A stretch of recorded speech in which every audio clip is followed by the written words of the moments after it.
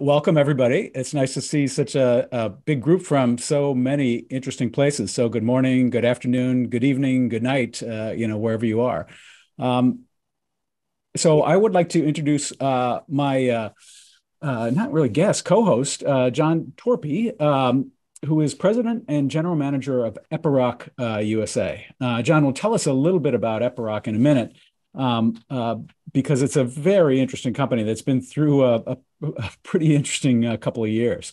Uh, Jon uh, it has mining and, and construction in the blood. He grew up in a copper mining camp in Peru, uh, went to college and studied mining and mineral engineering, graduated in 1999 and joined uh, a company called Ingersoll Rand Drilling Solutions as an application engineer in 1999. And he's been with the same company, even though it's uh, changed its name a couple times from uh, Ingersoll Rand Drilling to Atlas Copco and is now Epiroc. And he's risen steadily to become a um, uh, a regional manager, uh, then a district manager, then a business line manager, uh, then vice president of marketing, and is now president and general manager of Epiroc USA. Um, he's uh, been a strong advocate of innovation his entire career and has done some pretty interesting things at uh, Epiroc. So, uh, Jon, welcome. Um, yeah, great to be with you. Thanks, thanks, David. Great to be here with everybody. And so my, my first question to you, Jon, is uh, just tell us a, a, little bit about Epiroc. And I'm going to switch to this next slide here, which has uh, just some pictures of some of the cool stuff that you do. Great. Yeah. And we can, and we can talk to the pictures as well, a little bit about our company. So it's kind of interesting. We are a, a four-year-old company that started in 1873. Uh, and so if you do the math, obviously it doesn't line up. And so as you said, uh, I'm, I'm kind of unique in that I've been with the same company for about 23 years uh, starting with Ingersoll Rand, but then we were acquired by Atlas Copco. And what happened within Atlas Copco is about four years ago, they decided to, to take one of their business units, spin it out, and create a new company, a, a new publicly traded company uh, that was in turn uh, named Epiroc. And the idea with that was to create a new company that would grow better on its own than it was under this, this parent company of Atlas Copco. So we created Epiroc and essentially doing the same, same things that we were doing under Atlas Copco, but as a standalone company. Uh, what we do is we're a solutions and productivity uh, provider to the mining and construction industry. We do that as an equipment manufacturer, uh, as a provider of digitalization, automation, parts and services. Uh, and, and we do that with customers in the mining and construction industry worldwide. Uh, we we have a presence in about 150 countries, and that that includes our our own wholly owned companies uh, in those countries, uh, global. So very global company.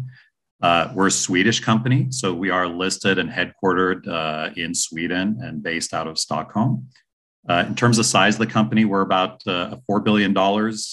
depends on the, the, the conversion. Where we we work in Swedish krona, so about four billion dollars good profitability, 22.7% operating profit, uh, healthy in terms of cash flow, paying dividends, and uh, yeah, overall, just uh, uh, like you said, it's it's actually quite an interesting company that many people haven't heard of. Partially because we are a relatively new company, but also coming from that heritage that started back in, in 1873.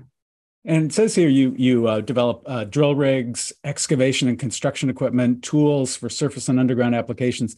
But I, I think that doesn't um, uh, capture really the sophistication of what you're doing. Uh, a lot of it, for example, is um, is remote automation, so that you don't actually have to be at a drilling site to manage one of these huge machines that you make.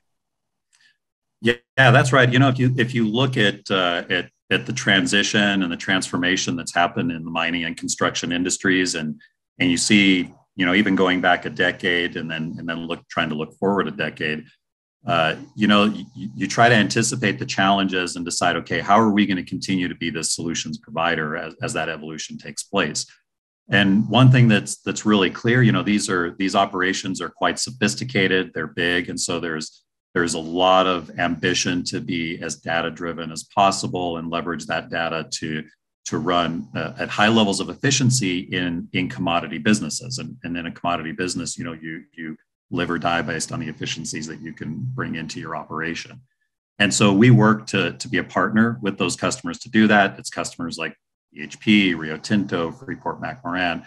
and one of the key pieces there is what's happening with with automation and uh, and digitalization and automation in particular. If you look at, uh, for example, the the utilization of mining equipment uh, tends to be be fairly low, uh, and and that has to do with the, the how, how labor intensive it is. Um, we always uh, safety is always the priority, and we're always making sure that we do things safely. And so the opportunities to begin automating functions uh, be, are, are, quite relevant, uh, but also quite complex. And so we started automating, started creating robots uh, several years ago, and really automating parts of the equipment, parts of the process, and moving to where we start to automate the full process. And, and what you can see here in the picture, those those two drills, those are drills on the bottom left. They are drilling holes in a mine that will be, uh, they'll put explosives in those holes and they'll essentially break big rocks into small rock that will turn into copper uh, in that mine.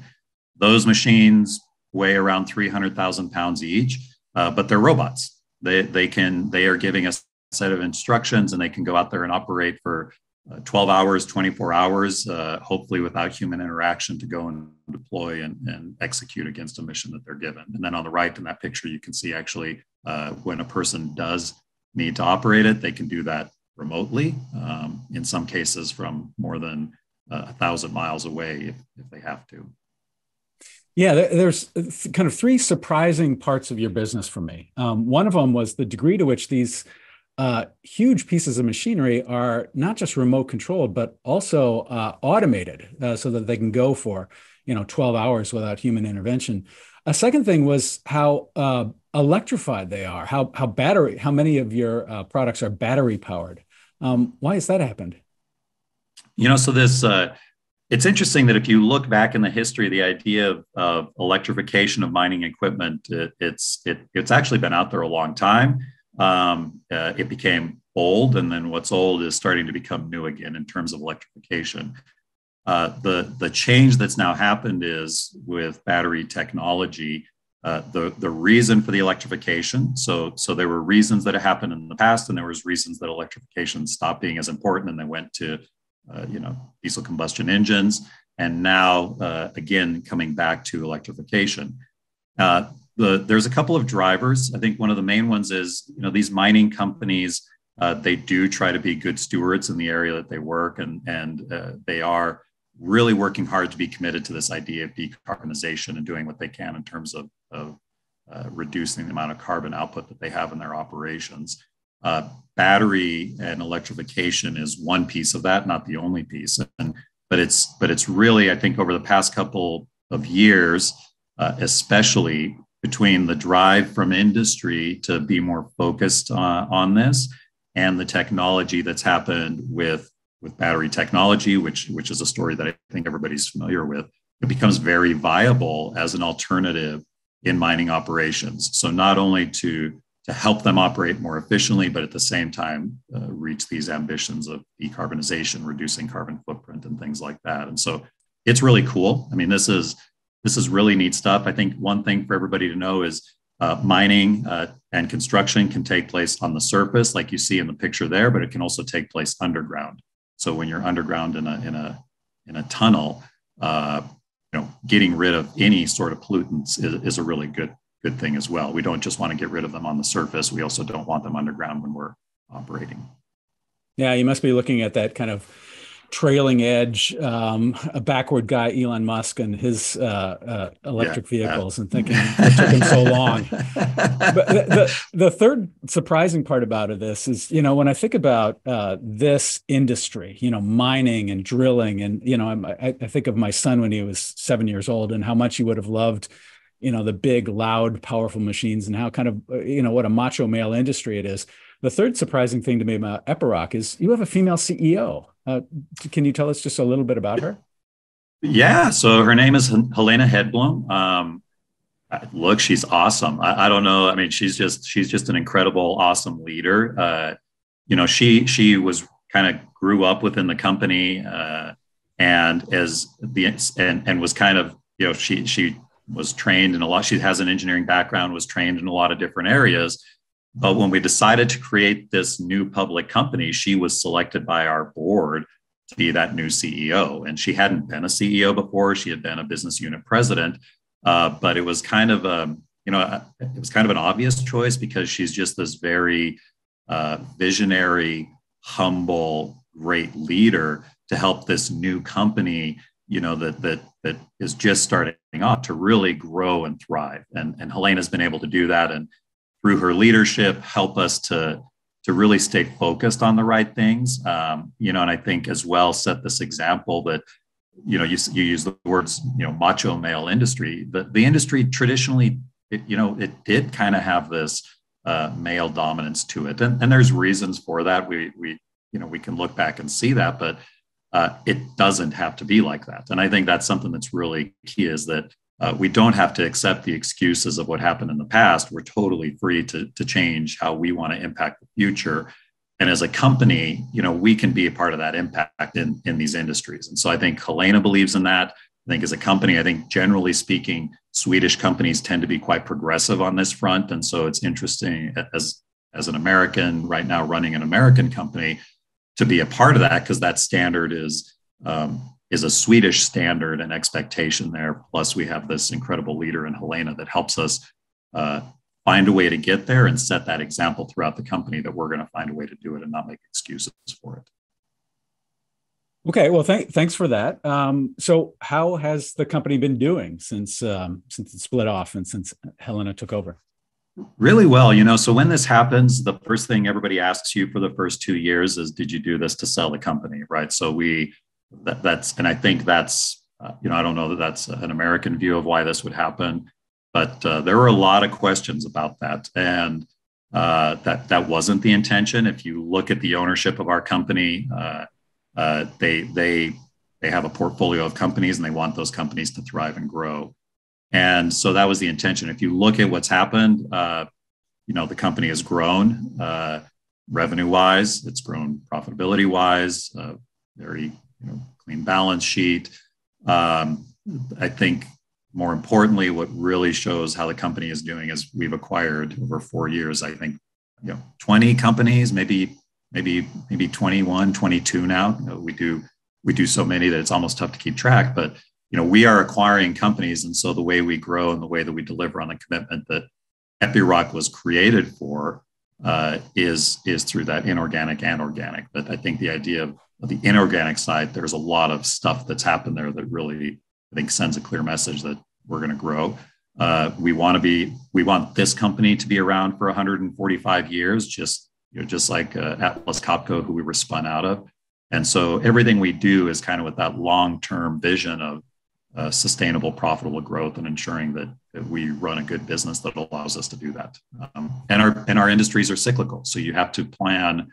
Uh, you have to be pretty disciplined and and run a run a good business all the time so that you can manage the cyclicality of the businesses that, that we serve.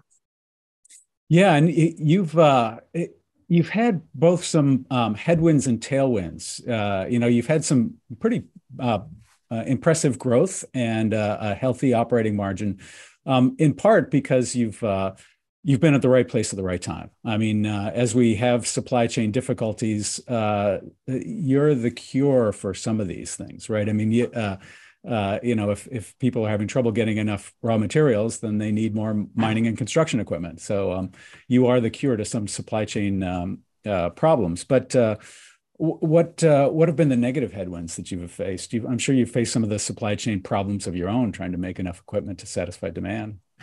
Yeah, yeah. Supply chain is the gift that keeps giving right now. Uh, you get one problem solved, and then something else pops up, uh, and I think that's something that we just we are constantly working on and i think you just expect there's going to be something else and and you're right you know our ability to help the natural resource industry uh, deliver the raw materials helps the whole cycle uh, recover you have the complications of Ukraine, Ukraine and Russia. We have companies uh, in both, uh, and, and Russia, of course, a, a, big supplier of raw materials. Ukraine as well. Ukraine also a supplier of uh, what I'd say other other components that many companies use, not just Epiroc. And so that's certainly been a headwind and navigating that. COVID, you know, figuring out our way through COVID. And I think even going back while we were doing all that, we were also creating a new company. And so making sure that you do the right things to ensure that uh, the company still thrives despite these headwinds. And so, and so I think a lot of companies have have the headwinds, supply chain, Russia, the one, the, the additional one that we have is is try was trying to make sure that this this this infant company really grows up and and thrives and and those headwinds don't overcome us. And so yeah, there was a lot of effort into making sure we didn't lose momentum there. And I think overall, uh, you know, I can say for the company that I run in the US, which is a pretty sizable company, uh, just incredible to see what people can do when they pull together and, and work on a strategy. Because our, our, our employees, our strategy, uh, uh, they were the right ones. And uh, the best way I can put it is we didn't miss a beat. You know, it just, we just made things happen and it was pretty amazing, amazing to see. Well, let's move to innovation. Um, part of the reason um, I wanted to talk to you today uh, was that you've been innovating in a pretty interesting way that you still are making the core products that you've been making since you joined the company back in 1999 um, but you're also realizing that that may not be enough to really serve your customers. So how would you describe your innovation strategy? Yeah so i think um, you know to, to to kind of make it simple i think the the idea is that you know we were an equipment manufacturer and and you're not going to be able to be around in 140 years uh, at certainly at the profitability levels that, that, that we expect if you just build and sell dumb iron. I think that's the term i'll use is, is dumb iron that all it is is a piece of iron that goes out there and does the work. It has to be more than that and it has to be more than this transaction of selling a piece of equipment or servicing a piece of equipment it has to go closer and, and further into that, how do you partner with the companies uh, that you work with to, to offer a more holistic solution to their problems? But, but really, that goes beyond this idea of, of dumb iron. And so, looking at how do you do that and, and even change how, how you are as perceived as just an equipment manufacturer to be more than that but also to show that you can do it, right? That you can also be a robotics company, that you can also be a, a company that understands data and, and what to do with data and where you can identify opportunities for digitalization and things like that. And so that's been a, a big part uh, of what we've been doing. So to, to, to keep that core going, because because we will always be a manufacturing company, as far as I know, for, for equipment, but what else goes with it? And, and that it can't just you can't just rely on the idea of this of this iron being uh, the product in the portfolio. Yeah, so moving from uh, big dumb iron to uh, intelligent solutions has meant uh, a multi-year effort to change the role of the product manager to be more of the CEO of the product. Um, tell us a little bit about what that meant and and the the challenge of uh, of, of that change that you faced when you tried to change the company that way so some of this started you know when we were still atlas copco before we created epiroc you know we had to start this journey. And so and and, and part of that like my my last role as marketing vp uh, you know i was i was one of the crazy guys that said oh yeah we should just automate this and had to get people to buy into the fact that oh we we can we can do robotics. Um, i don't have a robotics background but confidence that we could figure it out and get the right people involved and there had been some work already in our company, but how do you really pull it together into solution and and ultimately commercialize it? Because that's that's that's what we're here to do.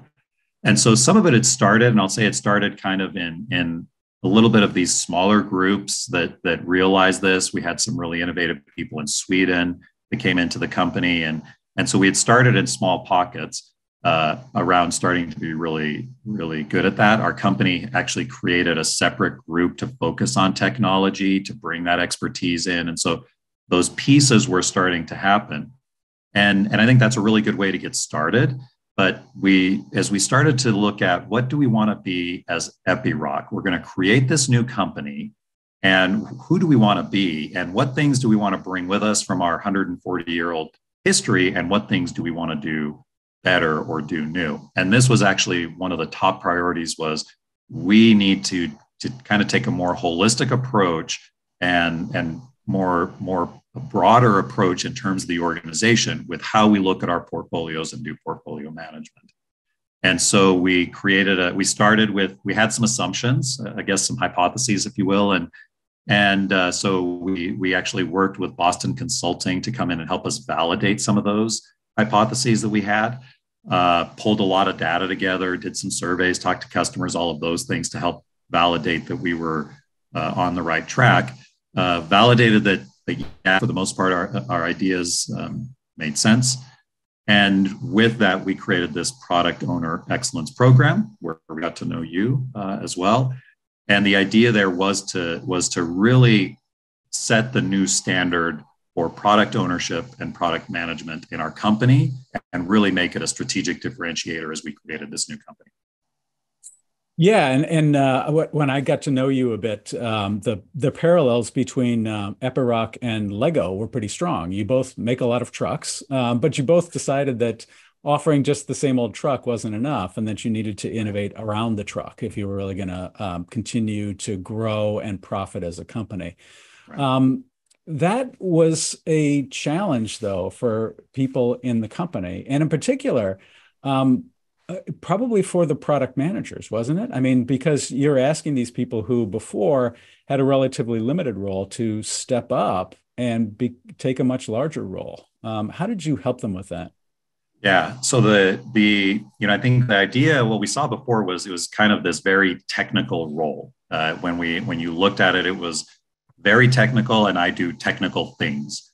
Uh, I would say the role even blurred. Is it a is it a r&d engineering role or is it a is it something else that, we thought it should be something else and so uh, you know the, the first thing we had to do was was really make it clear that we had this ambition to change i think that's the first is let's just be really clear that we do want to do this differently to everybody uh, and then and we're going to have a program that helps us get there together and do this successfully and so that was the goal with that and of course you know like you said we can't we, we still have to protect the core. You know, we still have these products that are core, even if it is a dumb iron, it still is core and it still is very relevant. And so, how do you do that and still maintain to protect the core? So, we we put this program together. It involved um, a lot of different aspects. It was around tools and templates to help support the work. Uh, it was around uh, leadership and culture, and, and how do we make sure that we have this culture that talks openly uh, around what it, what good looks like in this range. Uh, how do we recruit people that want to work this way? You know because that that is if if in the past the idea was hire really technical people to only do technical things you have to change your recruitment strategy. And then we put together what i think was a pretty robust training program to give new skills beyond just the technical side and so when you look at our training program it was the technical side was covered we had to develop something that covered all of the other things and gave them these tools to be able to, to do that. And, and so then the training program really helped to address that for the individuals. And the ambition was anybody that falls in product management, portfolio management, whatever job title falls under that is going to be a part of this. And the expectation we set is you need to act like you're the CEO of your product. You need to have a strategy, ensure that it's going to thrive. And if your product is one small piece of a bigger product, you act that way. If you're responsible for the whole portfolio, you act that way. Uh, and we're a fairly decentralized company. So, this idea of pushing uh, ownership and accountability and freedom with accountability, uh, we say the closest people to the problem are the best ones to solve it. So, the idea of doing that was kind of in our culture already, but we had to put a little like steroids on it uh, in terms of this program to really make that happen. So one more question, then I want to kind of open it up to the audience and see what questions they have. But um, give us an example of a product that you've gotten from this this new structure that you wouldn't have gotten from your old structure. Uh, yeah, so I think this idea, you know, of innovating around the box, Dave, that that you you worked with us on, and also avoiding the disease of more. You know, the idea of disease of more is oh, this drill was great. Let's build another drill that's kind of like that, but slightly bigger. And then another build that's kind of like that, but slightly smaller. And then let's build another one that's kind of like that, but, but yellow. Uh, and I think we had some of that going on. And so, first of all, I think culturally with the program, we, we stopped doing that. And so, if you look at the products that have come out since then, they've all been touched by it, I think, in some way or another. Uh, we have some specific examples. And so, every uh, every four years, there's a big uh, expo called Mine Expo, and, and all the mining companies display their equipment, uh, uh, uh, equipment manufacturers, mining companies from all over the world. And I was there in our booth, and and one of the guys from the program came up and he and he said, "I need to talk to you," and he walked me over to an undercarriage, which which tracks uh, an undercarriage uh, that would go like on a dozer, a set of tracks, which is part of a bigger system, uh, but a really important system because it allows us to move, and in particular in an autonomous scenario. And he said, "Do you see this undercarriage?" I said, "Yeah," and um, it looked like most undercarriages. And he said, I want to show you what's different about this undercarriage. So he walked me around the undercarriage and he said, We are going to fix a lot of problems that we have in terms of our drill automation and what we can do with undercarriage, with moving it around, because of what I learned in the product owner excellence program. You know, I I got tools that helped me to to lead the way to develop this piece of this bigger system. Um, and, and, and I think we have stories like that all over the place. The other thing we've learned is uh, with our products themselves, in this idea of you know innovate around the box, is being really clear what is the box, what innovations can happen around the box, and how do you think about developing the new box, the new uh, core that's going to be coming down as well, and and really being deliberate and distinguish about we have to develop new cores and new boxes. Those are a little long term, but we also have to innovate around the box today. So uh, we have ambitions to, uh, for example, safety. Safety is always a top priority. Uh, there's some really uh, cool ambitions out there in the industry, and we have several products that have come out as part of this attitude of, of, of uh, design around the box that, that have come as a result of that. So I think generally the culture is there, and really, I think almost every product as we've started to do this is touched by it in some way or another. And we just see a higher success rate as well with those products. We have technology. Uh, if you look in our automation program, uh, changing a bit, which is a procedure in drilling a hole. It used to be manual. It's a safety issue because of the program. Uh, people said, "Hey, we can come up with a better way to do this without overcomplicating it." Came up with a really cool design that made that happen as well. Right. Thank, thank you. Uh, so I'm, I'm looking at the questions now. Uh, Jorge Tenorio asked a question about network intermittences or satellite connections. Uh, I think we'll we'll skip over kind of the technical stuff because I want to stay focused on the innovation management. Um, Patricio Hidalgo asks about uh, does this uh, let you pivot into new uh, industries such as say agriculture or new markets like uh, emerging markets like um, uh, Los Andes, South America? Um, how uh, how has this helped you in terms of your uh, expansion outside of your core? So I think um, you know if you if we decide to pivot in terms of industry, that's a big strategic decision for Epiroc, right? So that decision probably isn't going to be uh, it, it's not going to be determined by this group, but I think what what would happen is if we were to to do that, we would say we have this program and this tool set that it, that we think is a strategic advantage that helps us to be successful in that. Um, maybe maybe tying to the question a little bit there that that happens, I think realistically is we're going to acquire a company that doesn't take us into a new industry, but takes us maybe one step away from our core, but still near to core of where we are today. How do you how do you acquire that company and and bring value to that company that helps it to thrive? And I think that's where this program you know when you can translate here is a way that we do product portfolio management and here is how we think about innovation it, it ends up being something that you bring in terms of, of a of a synergy that, that would be difficult to quantify but is a synergy that you can bring into a company and say this is how uh, one epiroc one acquisition you add them together they make three not two right that's one of the, the benefits of a program like this uh, and i will say you know, again, with this idea that we learned from, from you, Dave, this, this idea of innovate around the box, this program itself became a box. And so the, to this question of does it help you if you're going to pivot into other things? So now we have a product owner excellence program, and we said, wow, that looked pretty, that worked pretty good. And, and look at what happened.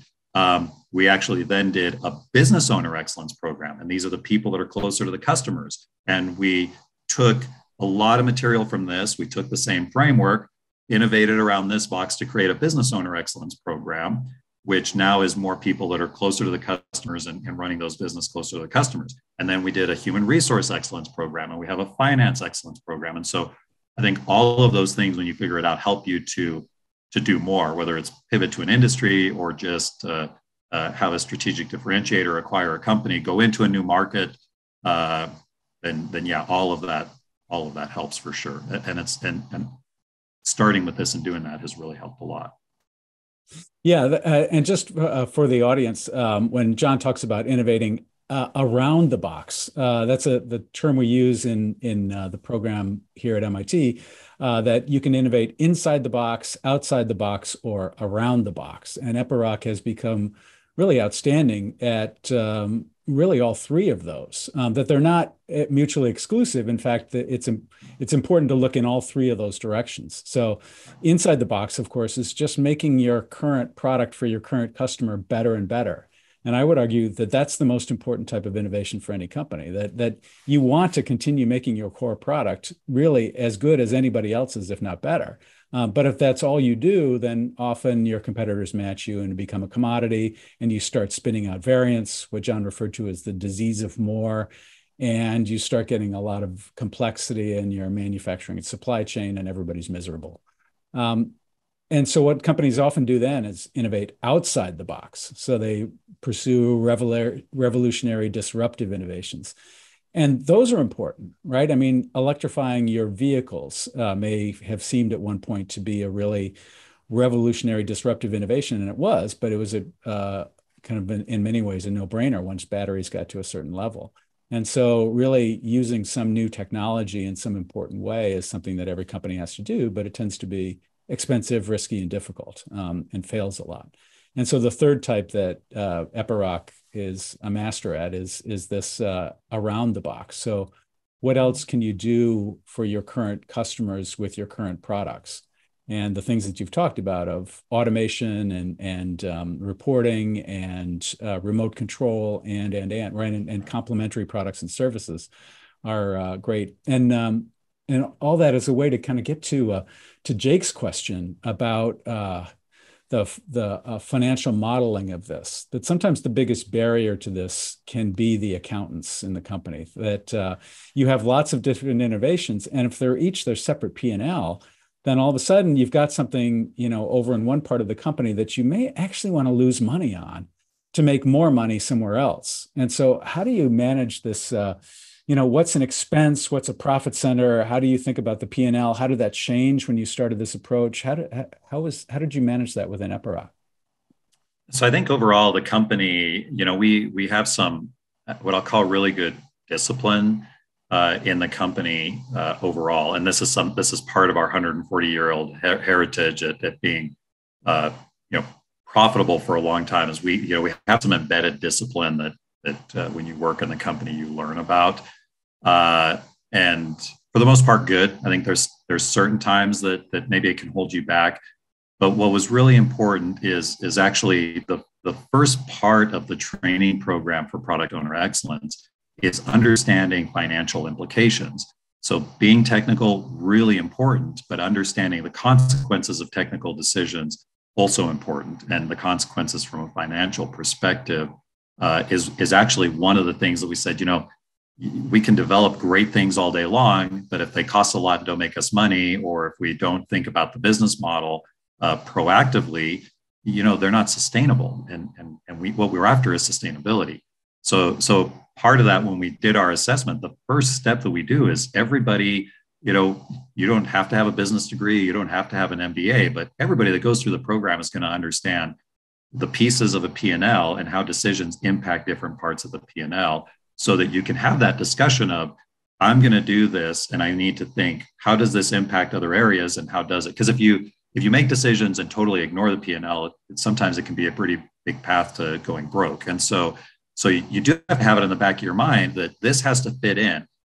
Then we can have that discussion of are we willing to give this for free? Because we know that once that goes out there this is going to be really profitable and these are going to go together. And as a whole this is a really good business. And so then we can then we can have that discussion and and you know then we can even challenge each other is that does that business model make sense or not?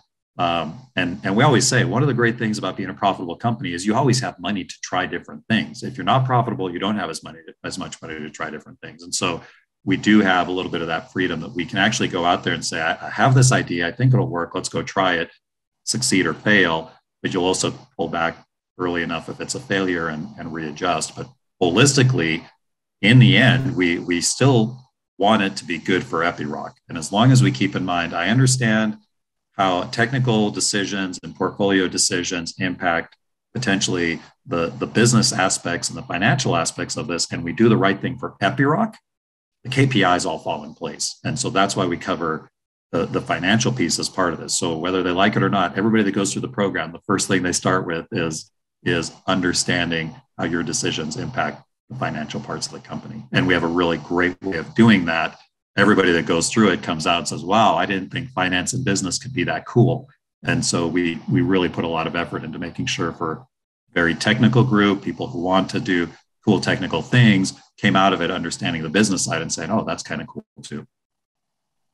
You know, we've talked some about um, the change in the product manager role to be more of a product owner and CEO of the product and the challenges of, of that increased level of responsibility and stepping up to it. But there's the other end of the challenge, which is uh, the, the senior management that all of a sudden they have to manage those people differently. How did you manage that transition? Yeah, so I think on that side, I'd say we're still in the transition. Actually, you know, even though we're a few years into this, Dave, I think we're still into that. When when you have the ambition to do something like this, I think you have to acknowledge you you are uh, you are making a cultural change. And, and I think you do have to acknowledge that and, and plan for it to be a cultural change. The best way to do that is to start and make sure that your, your leadership uh, is on board with this. Uh, so we did that. You know, we started, we, we actually invited you in and a few others to essentially do a, a, a micro version of the program for our leadership to make sure they understood it. You know, leadership, I mean like executives, senior executives, do they understand it? Can they endorse it? And and uh, that was that was a very very early step. Um, well, you know what we and then and then what we go through is trying to make make sure that the leaders of these people that go through the program will then support them because they come out of the program and, and you know they're really energized actually to to work this way and if their leader doesn't support them then it's a pretty fast path to the way we used to do it so we also work with the leaders, and we do that a couple of different ways to make sure that they will help to endorse and support this as it happens.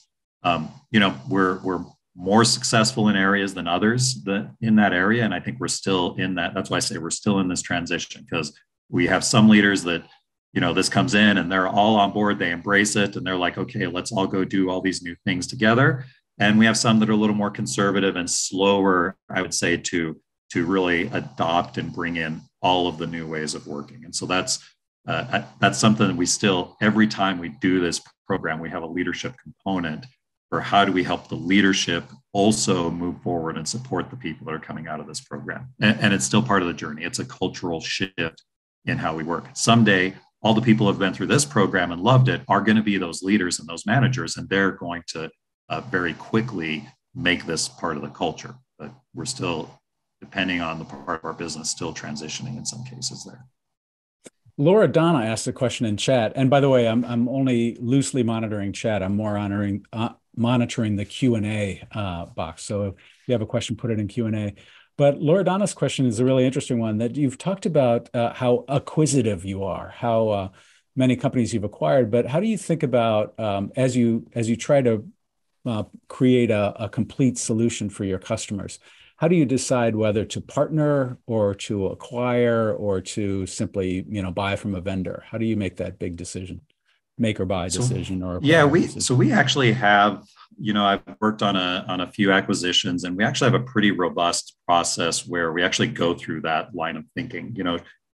You know first of all what i think you start with your strategy what is it that we need to accomplish? And then you look at what are the paths for us to get there. And i think we we have a pretty robust way to do that uh, that that comes from from some of this was one of the good things we brought with our company from from Atlas Copco, and so I think we stay pretty true to that uh, that way of working and that process. It's it's worked for us, and and part of that is looking okay, is this something we should do internally because we can invest money. We have software developers, we have data experts. You know, we we have a lot of expertise internally. Should we do this internally, and make that robust. Um, should we partner with a company? Should we acquire a minority stake in a company? Should we acquire a majority stake? Should we acquire an entire company? And so all of that um, is part of that that process, but it ties very much to the strategy, which helps us get to the strategy with the timing that we have in mind. Because sometimes you need to go you need to go fast, and you just have to go get something that's already on the market or go look. And then, of course, the other side is what's really available. You know, what partnerships are really available, what acquisitions are really available. So all of that has to play into it. Um, you know, and we do pretty well. We certainly have. Uh, we, I think we have some that we say, okay, we would have done that differently, but I think overall uh, we do it pretty well. And I'm, I'm, being a little vague on the details because it is a bit of a confidential uh, recipe. It is a secret sauce that we have in the company, but that that we, it is pretty robust in how we do that. Um, and and because it is so far a pretty successful recipe, uh, we stick with it. We revisit it. We adjust if it makes sense. But so far, it's it's uh, pretty pretty good recipe. Um, Anchor asked the question about uh, really part of your core business that um, there is a lot of pressure to reduce carbon, to use green energy um, for every industry, but especially industries uh, that are large emitters like the mining industry and construction industry. Um, so uh, your core has a lot of pressure to change. How does this help or hinder that? Yeah, I think you know that's it's going to change. I think the the so I think Epiroc Atlas Copco, and and I'm going to say it's maybe because they were a Swedish company. Again, I think Swedish companies tend to be more progressive on on this, and so I think uh, in terms of our industries, I think we were talking about it uh, maybe before the the industry was pulling it through us, um, and and I think that's again my impression. Uh, Swedish companies and and what they just how they look at things. And, and this was something we have to work on this. Uh, and so we we were working on it uh, already. I think now the industry is really pulling, and when the industry is pulling, that that's a good thing because then they're they're willing to pay for it. They've they've set it as a priority, and so uh, it is going to change. I mean, I I um, I'm traveling this week, and one of the reasons I'm traveling is partially a, a, a decarbonization um, discussion that I'm participating in and and and the other side is you know automation is is really cool and great but as you look at how you get there and you look at what i'll say is you know what we need to do is do more of this work with less energy. How do you do that? And and so the autonomous piece becomes really important into this because uh, with automation with a robot you can just get such tighter controls over the usage of the energy and and how you're going to use that energy. And then that you part you can couple that with battery power or a cable you know whatever it is you decide to do. But when you put these together uh, you can actually make an impact. I think the good thing you know i've been in this industry my whole life. Um, i think the good thing is to see that there's a lot of commitment from the mining industry in particular to be better at this. Um, and so it is going to change. Uh, it it it is changing and, and it is going to change so hopefully that answers the question. But it, but it's in terms of our portfolio and our products, we have brought ex, we we've brought in expertise. And if you look at acquisitions, some of the acquisitions we've made, we we've made acquisitions that are enablers to decarbonized mines or to to lower CO2 mines. And so that's in the form of companies that can help do electrical infrastructure, can help with battery power, all of those things. If you look at some of our acquisitions as well to make that happen. So uh, Windsor Cho asked a couple questions, but I want to just focus on one of them, which is the the length of your innovation and development cycle. Um, it can be pretty long for some of these. Uh, how do you know you're doing the right thing, right? I mean, if it's a four year cycle and you're uh, only a couple years into this change, how do you know that? Yeah, uh, so it kind of so right one of the one of the ambitions with this project or with the product owner excellence initiative was to speed up the innovation cycle, and so. Um, you know we, that that was one of it is is how can you speed that up? And so there's different things that we tried to do that do there.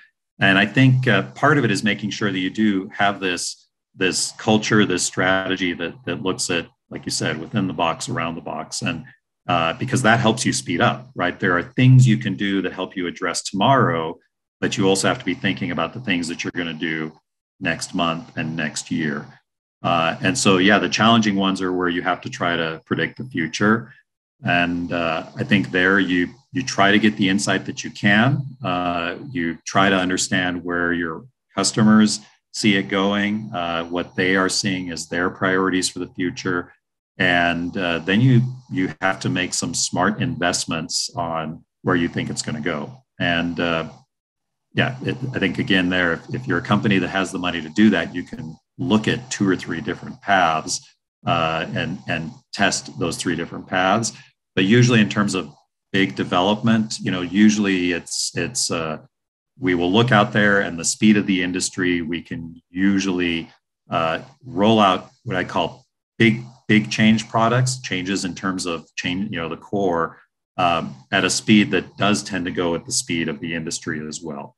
Um, what I will say is, I think this switch to battery powered and all of that happened in the mining industry pretty fast by by standards of how that industry typically moves. And so, so yeah, finding ways to adjust to that. Uh, again, you you look at where can I invest for the short term to help get closer, but then we have to make some long term bets. And, and again, some of these acquisitions that we make, anticipating where it's going to be and I think at the same time, you know, we really stay focused on a strategy. If we have a good strategy that, that, that that's based on good fundamentals, good assessments, if we follow our strategy, then then you know we're going to be have we're going to have a lot of good hits along the way. It's it, we're not going to have too many foul balls, uh, and and that tends tends to work. We have a we have a pretty good success rate there.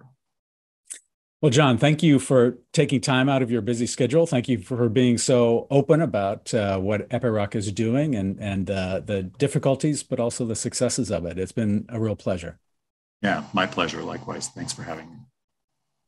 And uh, now it's it's time for the kind of uh, shameless plug portion uh, that. Uh, uh, here at MIT, we we do a program about innovating around the box. Uh, how do you respect your current products for your current customers, but then also realize that it may not be enough to get the kind of growth and profits you need. How do you also create a structure and process for um, creating complete solutions for your current customers and your current products? Um, the uh, there is a QR code you can scan here. Uh, the next running of the program will be on campus uh, September 15th and 16th. That's next month. Um, and we hope you can join us.